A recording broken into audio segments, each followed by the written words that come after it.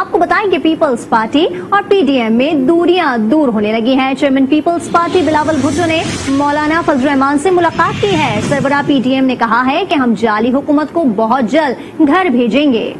उन्होंने कहा कि धांधली ज़्यादा हुकूमत को इस्लाहात करने का कोई हक नहीं। बिलावल भुट्टो बोले, ऑपोजिशन के इतिहाद के बाईस हुकूमत को शिकस्त हुई। मुलाकात का अहवाल इस रिपोर्ट में जानेंगे।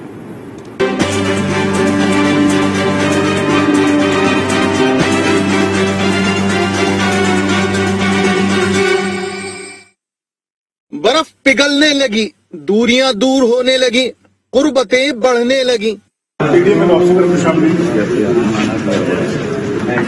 Chairman people's party Bilawal Bhutto, सरबरा PDM मौलाना फजल रहमान से मिलने उनकी रहाइश गाह पहुँचे। मुलाकात में इलेक्ट्रॉनिक वोटिंग मशीन एहतसाब के हवाले से कवानीन पर पार्लियामेंट में मुश्तर लाहे अमल इख्तियार करने पर इतफाक किया गया। सरबरा पीडीएम मौलाना फजल रहमान ने कहा कि जारी हुकूमत को बहुत जल्द घर भेजेंगे। Chairman people's party Bilawal Bhutto बोले अपोजिशन के इत्तेहाद के बायस ऐवान में हुकूमत को शिकस्त हुई।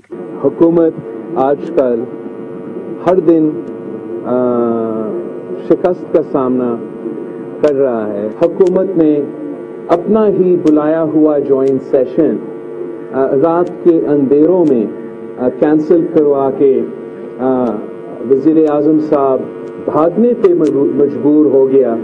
मुलाकात में दोनों रहनुमाओं ने महँगाई की सूरत हाल पर इजहार तशवीश की।